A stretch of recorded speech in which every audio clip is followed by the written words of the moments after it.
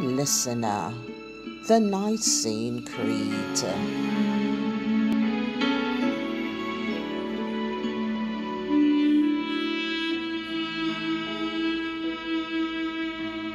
Here we are. I believe in one God, the Father Almighty, maker of heaven and earth, of all things visible and invisible.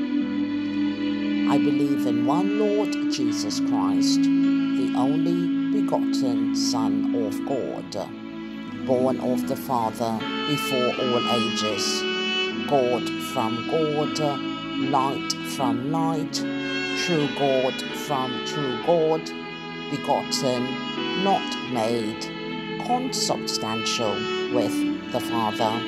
Through him all things were made.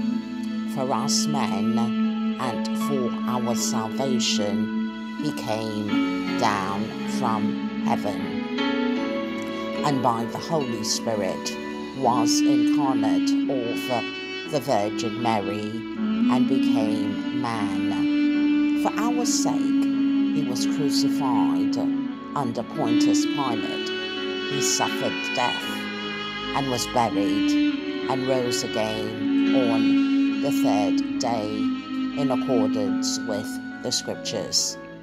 He ascended into heaven and is seated at the right hand of the Father he will come again in glory to judge the living and the dead, and his kingdom will have no end.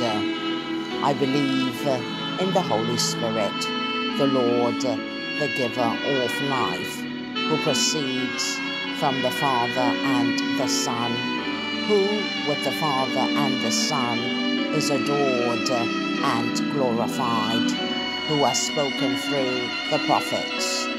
I believe in one holy, Catholic, and Apostolic Church. I confess one baptism for the forgiveness of sins, and I look forward to the resurrection of the dead and the life of the world to come. Amen.